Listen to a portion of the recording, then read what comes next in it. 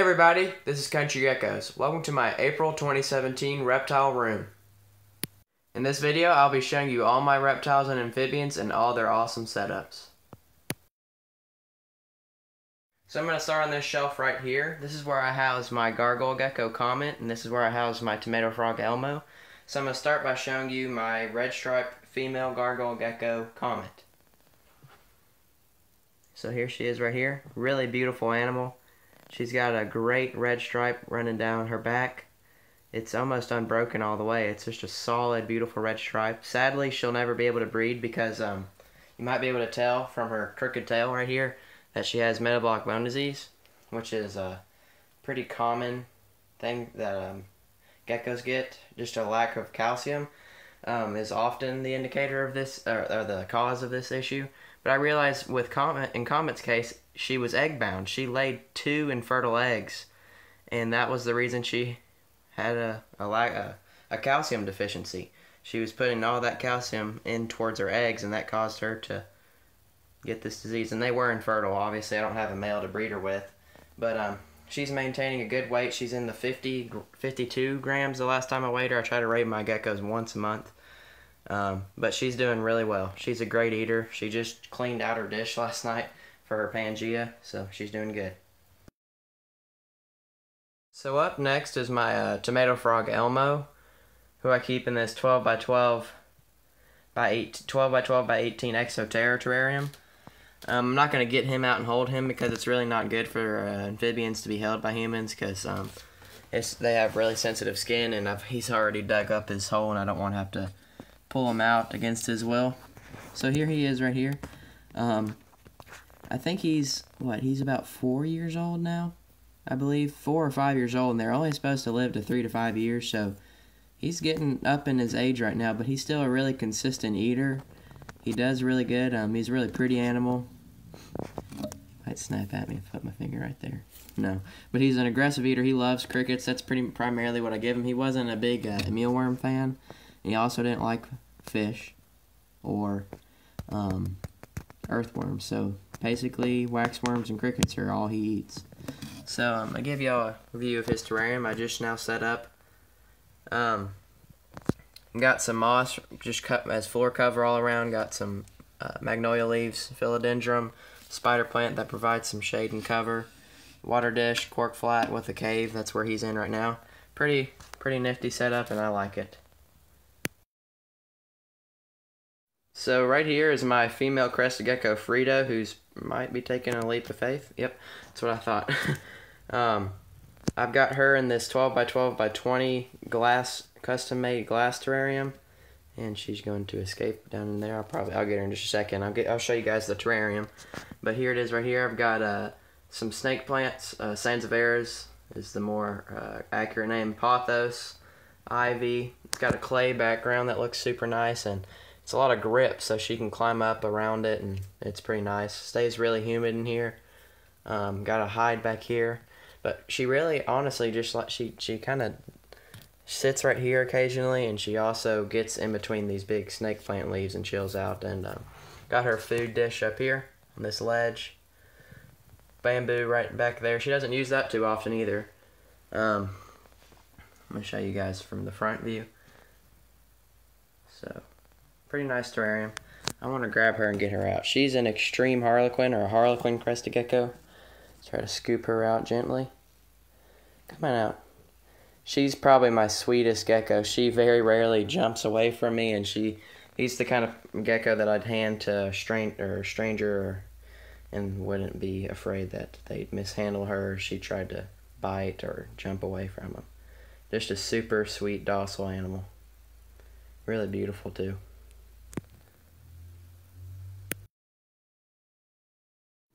Right here, everybody, is my beautiful Rhacodactylus leachianus gecko, Titan. He is a Pine Island locale leachianus. I've got him in this 18 by 18 by 24 exoterritorium that's pretty pretty awesome looking, really naturalistic. I've got several different types of plants in there. I've got a clay background in the back, nice ledge for him to eat off of. Um, surprisingly, he doesn't weigh that down, it doesn't fall. He is a pretty massive gecko. I can't remember the, how much he weighed the last time I went, but I think he's like 210 grams. He's a, already getting huge. He's got about 100 grams left to go, 100 or more left, grams left to go. He's a pretty feisty gecko. Um, he'll calm down if I give him like crickets to eat, but otherwise he's kind of he's pretty cage aggressive.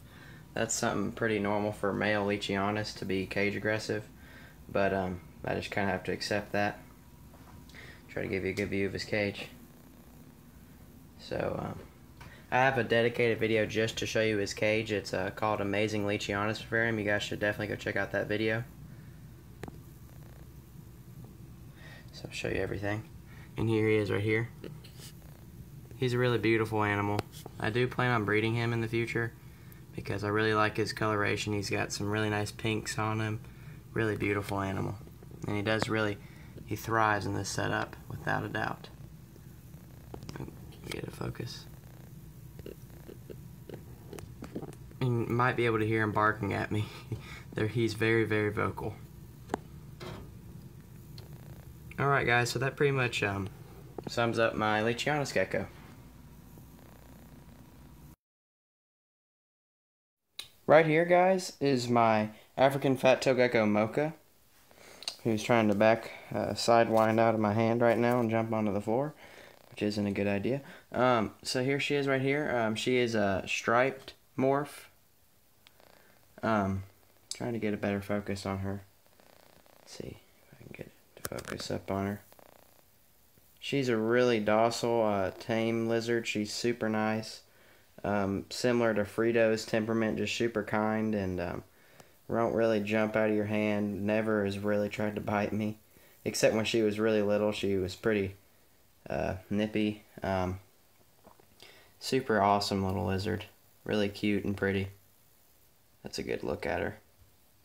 Um, set her back in her cage right here. For some reason in this setup, she's been much more willing to come out of her main hide that she's retreating back into right now, ironically. But she's been much more willing to come out and uh, check uh, check me out while I'm working around in my room and doing stuff in my room.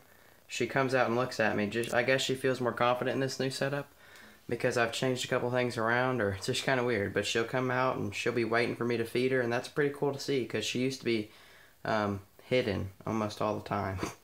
But now she's uh, not afraid to come out, so that's good. She's down in there now. And this is her setup right here. I got a ficus, a pothos, a lot of moss, some grass that's dying because she's trampled it. The grass really isn't that good for uh, larger animals. So, um, yeah, that's Mocha. So up next, guys, is my leopard gecko Phoenix. Um, he's a really, really great leopard gecko. He's a great eater. He's pretty tame. He can be a little flighty at times, but overall he's a pretty nice little animal. Um, he's, um, I think the last time I weighed him 92 grams, so he's kind of a beast. Um, he's he's kind of squirming around. Let's see. So I'll give you show of his colors. Um, he's not any special morph or anything, but he's just a really pretty spec- specimen of uh, just a normal uh, leopard gecko probably my favorite leopard gecko morphs. I'm not very good on the names, but I do like the ones that are orange. I think those are called tangerines and sunglows. But I'm um, I'm happy with how Phoenix looks. He's a really pretty gecko, really beautiful yellow colors, and just a good pet overall. He's my first pet. Um, so let's see. Let's set him back in his cage, and I'll give you a look of his cage real quick. All right, so um, got him in this. I don't know the dimensions. I apologize, but um, it's just a it's a wide and long uh, Exo Terra tank. It's much more wide and long than it is tall, so um, that's really good for a terrestrial animal like this leopard gecko right here. And he's gonna retreat into his tube, and I won't be able to see him, and probably until tomorrow when I feed him. but um, he's uh, seems to be digging this setup super well. He's been eating well in there. I've got the warm hide over to this side, right here and then the cool hide. And I've got moss uh, littered throughout here and there um, to pr provide humidity if he uh, when he's shedding. So yeah, that's my leopard gecko. And finally, everybody, I have my firebelly toad, my solo firebelly toad bump. who I literally, probably about an hour ago, just got done filming a video for on how to set up his cage. I'm not sure if I'm going to release this video or that video first, but um, be on the lookout for that one on my channel. Um, I've got him in this little 8x8x12 uh, Exo terrarium that he has been eating really well in and seems to, you know, maintain him healthy. And I've got a big water dish in there for him. Um, pretty nice setup. Got a drainage layer, so it's a pretty good uh, setup for him. He eats well in there. He's not a very big animal, which they really aren't supposed to be that big. But he's a super nice pet, um, fun to have, fun to watch, walk around because they're pretty active during the day, and really, really funny to watch eat. Um, so yeah. To conclude this video, I thought I'd show you guys um, my new organizational setup for all my substrate and supplies that I use often. Uh, I had this toy rack that had a lot of toys in it when I was little, and I just cleaned out the toys and brought this up here, wiped out all the containers, and set some substrates in it. I set it in a different room because there's not enough room in my room. And I just put all the substrates that I have left, and it'll be easy to get to them. And um, uh, just looks nice and easy to organize. Organization is so important sand and shells right there. Organization is so important when you have animals. If you uh, keep it in a place where it's easy to get to, um, you'll be much more likely to clean cages and want to take care of your animals. But if it's a big, huge mess, you're gonna you're gonna be more hesitant to uh, get to cleaning cages and touching up things. So I decided I'd organize this out to prompt myself into working a little bit harder with my animals. So I've just got all this substrate, and I really recommend people who are really into animals to do something like this. Just keep all your things organized. It's just a super important thing to do. It you can apply that to all walks of life. Organization is really important. Well, everybody, that pretty much concludes my April reptile room video. I hope you guys really enjoyed this. Um, I really enjoyed making it. I love showing all you guys my um, pretty fun uh, natural setups. You guys seem to approve of them, and I really like them, and I love making videos for you guys to watch. So make sure to like, comment, subscribe, turn on post notifications, and I will see y'all in the next one. This is Grandja Echoes. Bye.